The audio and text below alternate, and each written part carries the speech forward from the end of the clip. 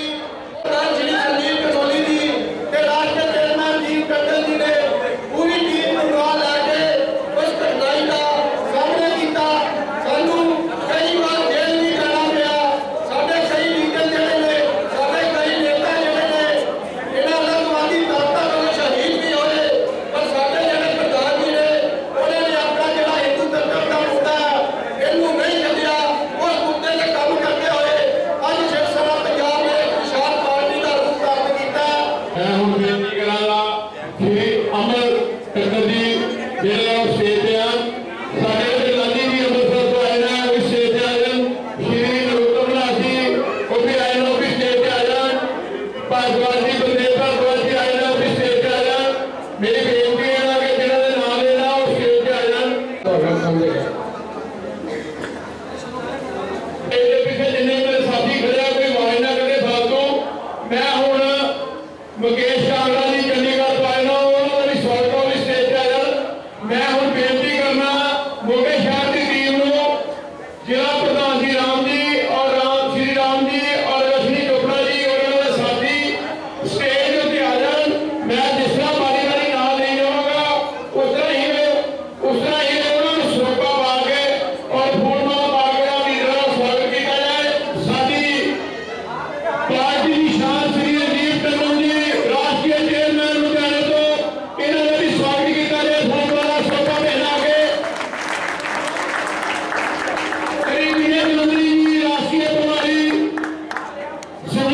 Hallelujah.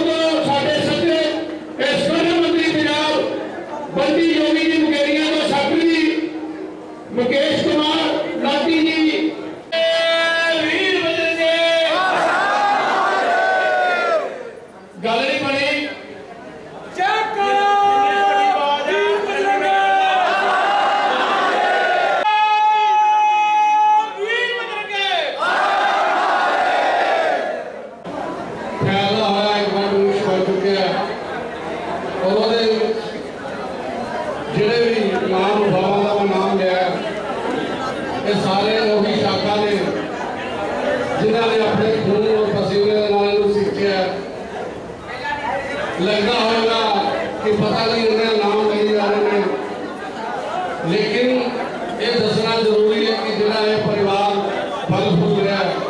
ये भी अपने खून और पसीने के नाल जड़ा किसी भूखा मंगली जोड़ेगा ना किसी किसी को रैली वाली राष्ट्रपति वाली जोड़ेगा जिला भी सदा उद्देदार होएगा वो सारे परिवार का एक हिस्सा होगा। वो एक आज साबित होएगा। सारी मौके की वहाँ रैली ਸਾਡੇ ਸਥਾਪਨਾ ਦਿਵਸ ਤੇ ਸ਼ਿਕਸ਼ਾ ਪੰਜਾਬ ਦੇ ਸਥਾਪਨਾ ਦਿਵਸ ਤੇ ਲੋਕਾਂ ਦੇ ਸਾਡੇ ਪਰਿਵਾਰ ਨੇ ਅਸ਼ਰੀ ਜੀ ਦੇ ਨੇਤਰਤਵ ਵਿੱਚ ਉਹ ਜਿਹੜੇ ਉਹਦੇ ਸਾਥੀ ਪੂਰੀ ਟੀਮ ਨੇ ਅੱਜ ਮੋਗੇ ਸ਼ਹਿਰ ਦੀ ਪੰਜਾਬ ਦੀ ਪੂਰੀ ਟੀਮ ਨੂੰ ਦਿਖਾ ਦਿੱਤਾ ਕਿ ਸ਼ਿਕਸ਼ਾ ਦਾ ਫਿਰ ਪੰਜਾਬ ਦਾ ਪਰਿਵਾਰ ਹੈ ਸਭ ਅੱਛਾ ਪਰਿਵਾਰ ਪੂਰੇ ਪੰਜਾਬ ਜਿਹੜਾ ਜੇ ਕਾਲੇ ਤੋਂ ਬਾਅਦ ਮੈਂ ਸਾਡੇ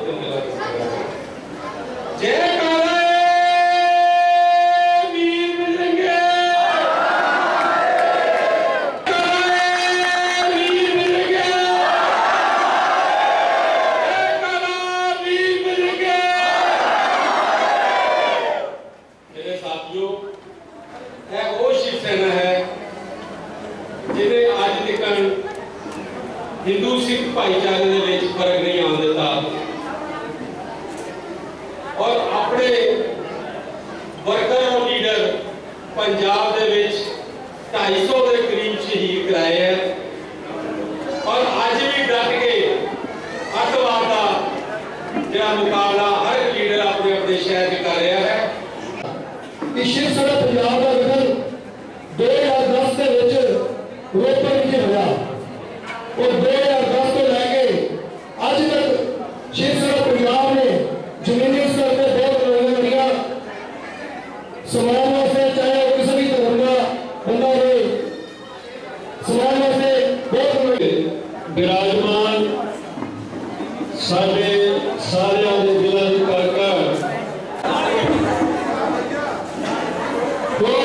Вот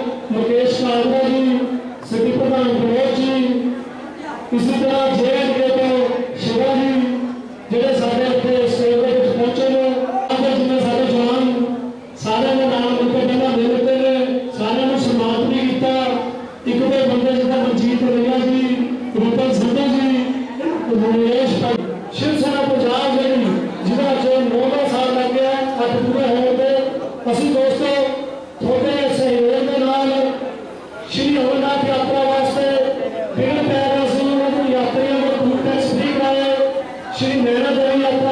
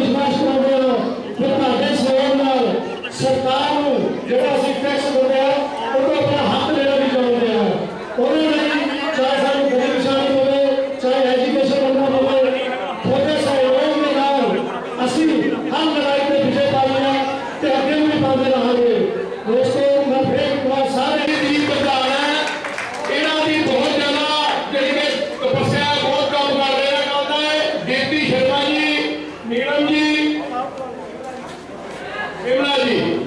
ਬਾਕੀ ਵੀ ਸਾਰੇ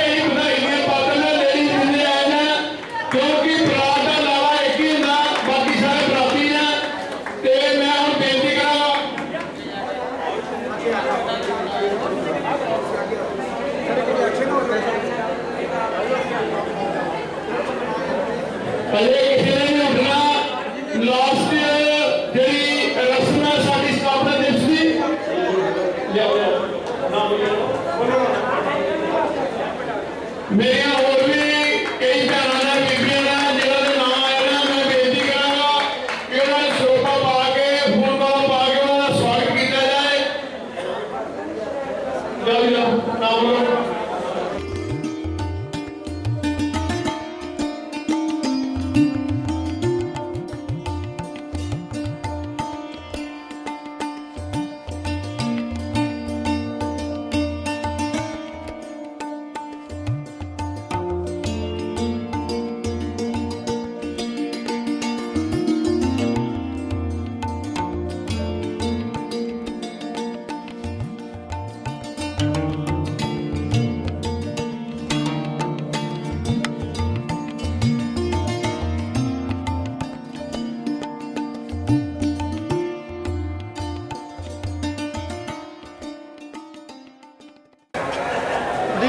ਗੱਲ ਆ ਵੀ ਮੋਗੇ ਦੇ ਲੋਕਾਂ ਨੇ ਅੱਜ ਜਿਹੜਾ ਸਾਡਾ 8 ਸਾਲ ਸ਼ਿਵ ਸੈਨਾ ਪੰਜਾਬ ਦੇ ਪੂਰੇ ਹੋ ਗਏ ਨੇ, ਨੌਵੇਂ ਸਾਲ ਦੀ ਸ਼ੁਰੂਆਤ ਹੋਈ ਆ। ਅਸੀਂ ਅੱਜ ਇੱਕ ਰਾਸ਼ਟਰੀ ਕਾਰਿਆਕਰਮ ਜਿਹੜਾ, ਉਹ ਮੋਗੇ ਦੀ ਧਰਤੀ ਤੇ ਰੱਖਿਆ। ਬੜੀ ਖੁਸ਼ੀ ਦੀ ਗੱਲ ਆ ਵੀ ਇੱਥੇ ਦੇ ਸਾਡੀਆਂ ਮਹਿਲਾਵਾਂ, ਭੈਣਾਂ, ਜਿਹਨੂੰ ਅਸੀਂ ਕਹਿੰਦੇ ਆ ਮਹਿਲਾ ਸ਼ਕਤੀ, ਪਲੱਸ ਸਾਡੇ ਨੌਜਵਾਨ ਸ਼ਕਤੀ ਤੇ ਸਾਡੇ ਬਜ਼ੁਰਗਾਂ ਨੇ ਇੱਥੇ ਅੱਜ ਸ਼ਿਵ ਸੈਨਾ ਦੇ ਵਿੱਚ ਵੱਧ ਚੜ੍ਹ ਕੇ ਭਾਗ ਲਿੱਤਾ। ਇਸ ਤੋਂ ਸਾਨੂੰ ਇਹ ਪ੍ਰਤੀਕ ਹੋਇਆ ਵੀ ਜਿਹੜੀ ਸ਼ਿਵ ਸੈਨਾ ਪੰਜਾਬ ਨੇ 8 ਸਾਲ ਕੰਮ ਕੀਤਾ ਉਹ ਆਮ ਜਨਤਾ ਲਈ ਬਹੁਤ ਵਧੀਆ ਕੀਤਾ। ਮੈਂ ਤੁਹਾਡੀ ਜਾਣਕਾਰੀ ਥੋੜਾ ਦੱਸਣਾ ਚਾਹੁੰਦਾ ਹਾਂ ਵੀ ਸ਼ਿਵ ਸੈਨਾ ਪੰਜਾਬ ਦੀ ਜਿਹੜੀ ਸਥਾਪਨਾ, ਉਹ 5 ਸਤੰਬਰ 2010 ਦੇ ਵਿੱਚ ਰੋਪੜ ਸ਼ਿਵ ਨਗਰੀ ਵਿੱਚ ਕੀਤੀ ਗਈ ਸੀ। ਸ਼ਿਵ ਨਗਰੀ ਰੋਪੜ ਵਿਖੇ ਇੱਕ ਸਾਡਾ ਸ਼ਿਵ ਸੈਨਾ ਦਾ ਦਫ਼ਤਰ ਹੈ। ਉੱਥੇ ਤੋਂ ਅਸੀਂ ਜਿਹੜੀ ਸ਼ਿਵ ਸੈਨਾ ਦੀ ਸ਼ੁਰੂਆਤ ਕੀਤੀ ਸੀ, ਉਹਦੇ ਵਿੱਚ ਉਹ ਲੋਕ ਲੱਤੇ ਸੀ ਜਿਹੜੇ 20 20 25 25 ਸਾਲ ਤੋਂ ਸ਼ਿਵ ਸੈਨਾ ਵਿੱਚ ਕੰਮ ਕਰਦੇ ਆਏ ਸੀ। ਚਾਹੇ ਉਹ ਸ਼ਿਵ ਸੈਨਾ ਬਾਲ ਠਾਕਰੇ ਨਾਲ ਸੀ ਚਾਹੇ ਉਹ ਸ਼ਿਵ ਸੈਨਾ ਪਵਨ ਸ਼ਰਮਾ ਜੀ ਨਾਲ ਸੀ, ਚਾਹੇ ਉਹ ਸ਼ਿਵ ਸੈਨਾ ਬਿੱਲਾ ਜੀ ਨਾਲ ਸੀ, ਉਹ ਲੋਕ ਜਿਨ੍ਹਾਂ ਨੇ 20 25 ਸਾਲ ਅੱਤਵਾਦ ਦੇ ਦੌਰਾਨ ਕੰਮ ਕੀਤਾ, ਅੱਤਵਾਦੀਆਂ ਦੀ ਗੋਲੀਆਂ ਦੇ ਨਿਸ਼ਾਨੇ ਚੇਂਜ ਕੀਤੇ ਤੇ ਸਹੀ ਸਮਾਜ ਲਈ ਕੰਮ, ਹਿੰਦੂ ਧਰਮ ਲਈ ਕੰਮ ਕਰਦੇ ਆਏ, ਉਹਨਾਂ ਦੀ ਸਾਰਿਆਂ ਦੀ ਸਲਾਹ ਦੇ ਨਾਲ ਅਸੀਂ 2010 ਦੇ ਵਿੱਚ ਸ਼ਿਵ ਸੈਨਾ ਪੰਜਾਬ ਦੇ ਨਾਂ ਤੇ ਇੱਕ ਸੰਗਠਨ ਬਣਾਇਆ। ਅਸੀਂ ਸੰਗਠਨ ਬਣਾਉਣ ਤੋਂ ਬਾਅਦ ਪੰਜ ਨੋਟੀਫਿਕੇਸ਼ਨਾਂ ਕਰਾਈਆਂ ਸ਼ਿਵ ਸੈਨਾ ਪੰਜਾਬ ਨੇ ਤੇ ਉਹ ਤੋਂ ਬਾਅਦ ਜਿਹੜੀ ਸ਼੍ਰੀ ਅਮਰਨਾਥ ਯਾਤਰਾ ਉਹਦੇ ਪਥਰਾਵ ਹੁੰਦਾ ਸੀ, ਉਹਦੇ ਤੇ ਟੈਕਸ ਲਏ ਜਾਂਦੇ ਸੀ, ਟੂਲ ਟੈਕਸ ਲਿਆ ਜਾਂਦਾ ਸੀ, ਐਂਟਰੀ ਟੈਕਸ ਲਿਆ ਜਾਂਦਾ ਸੀ। ਸ਼ਿਵ ਸੈਨਾ ਪੰਜਾਬ ਨੇ ਐਫਰਟਸ ਕਰਕੇ ਉੱਥੇ ਅਸੀਂ ਜਾਮ ਲਾਇਆ ਲਖਨਪੁਰ ਵੈਰੀਅਲ ਤੇ, ਅਸੀਂ ਜੇ ਐਂਡ ਕੇ ਦੇ ਗਵਰਨਰ ਸਾਹਿਬ ਨੂੰ ਮਿਲੇ, ਅਸੀਂ ਟੂਲ ਟੈਕਸ ਫ੍ਰੀ ਕਰਾਏ, ਉੱਥੇ ਦਾ ਜਿਹੜਾ ਐਂਟਰੀ ਟੈਕਸ ਸੀ ਉਹ ਫ੍ਰੀ ਕਰਾਈ। ਉਹ ਤੋਂ ਬਾਅਦ ਸ਼੍ਰੀ ਅਮਰਨਾਥ ਯਾਤਰਾ, ਸ਼੍ਰੀ ਨੈਣਾ ਦੇਵੀ ਮਾਤਾ, ਸ਼੍ਰੀ ਚਿੰਤਪੂਰਨੀ ਮਾਤਾ ਦੇ ਜਦੋਂ ਚਾਲੇ ਸਟਾਰਟ ਹੁੰਦੇ ਨੇ, ਉਦੋਂ ਟੂਲ ਟੈਕਸ ਲਏ ਜਾਂਦੇ ਨੇ। ਅਸੀਂ ਉਹ ਟੂਲ ਟੈਕਸ ਫ੍ਰੀ ਕਰਾਏ ਮਾਤਾ ਦੇ ਸ਼ਰਧਾਲੂਆਂ ਲਈ। ਫਿਰ ਸ਼ਿਵ ਸੈਨਾ ਪੰਜਾਬ ਨੇ ਲੁਧਿਆਣੇ ਵਿਖੇ ਇੱਕ ਮੰਦਿਰ ਢਾਹ ਦਿੱਤਾ ਸੀ। ਉੱਥੇ ਦੀ ਕਮੇਟੀ ਨੇ ਅਸੀਂ ਮੰਦਿਰ ਦੀ ਸਰਕਾਰੀ ਜਗ੍ਹਾ ਲੈ ਕੇ ਉੱਥੇ ਦੁਬਾਰਾ ਮੰਦਿਰ ਦੀ ਸਥਾਪਨਾ ਕਰਾਈ। ਸ਼ਿਵ ਸੈਨਾ ਜੇ ਪੰਜਾਬ ਨੇ ਗਊਆਂ ਮਾਤਾ ਲਈ ਅਸੀਂ ਐਜੀਟੇਸ਼ਨ ਲੜਿਆ। ਅਸੀਂ ਉੱਥੇ ਗਾਵਾਂ ਦੇ ਵਾਸਤੇ ਵੀ ਸਾਨੂੰ ਅੰਦਰ ਜੇਲ੍ਹ ਵੀ ਜਾਣਾ ਪਿਆ। ਅਸੀਂ ਗਾਵਾਂ ਵਾਸਤੇ ਫੰਡ ਦਵਾਇਆ, ਮੰਦਰਾਂ ਵਾਸਤੇ ਫੰਡ ਦਵਾਇਆ। 19 ਦੇ ਚੁਣਾਵ ਦੇ ਵਿੱਚ ਸ਼ਿਵ ਸੈਨਾ ਪੰਜਾਬ ਜਿਹੜੇ ਲੋਕਾਂ ਦੇ ਹਿੱਤ ਲਈ, ਜਿਹੜਾ ਸਮਾਜ ਦੇ ਹਿੱਤ ਲਈ ਕੰਮ ਕਰਾਂਗੇ, ਅਸੀਂ ਕਿਸੇ ਪਾਰਟੀ ਨੂੰ ਨਹੀਂ, ਕਿਸੇ ਉਹਨੂੰ ਨਹੀਂ। ਹਾਂ, ਜਿਹੜਾ ਸਾਡੇ ਸਮਾਜ ਲਈ, ਜਿਹੜਾ ਸਾਡੀ ਗਊ ਮਾਤਾ ਲਈ, ਜਿਹੜਾ ਸਾਡੇ ਮੰਦਰਾਂ ਲਈ, ਜਿਹੜਾ ਹਿੰਦੂ ਸਮਾਜ ਲਈ ਕੰਮ ਕਰੇਗਾ, ਅਸੀਂ ਉਹਨੂੰ support ਕਦਰ ਕਰਦੇ ਹਾਂ। ਜਿੱਥੇ ਵੀ ਗਲਤ ਕੰਮ ਹੁੰਦਾ, ਅਸੀਂ ਭਾਗ ਲੈਂਦੇ ਆ